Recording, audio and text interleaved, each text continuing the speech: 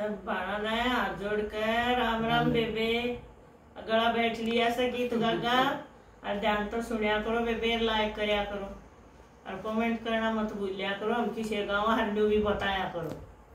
फिर बताओगे तुम्हारा दिल खुश हो जाए से और हमारे चैनल ने सब्सक्राइब करया करो दीदी।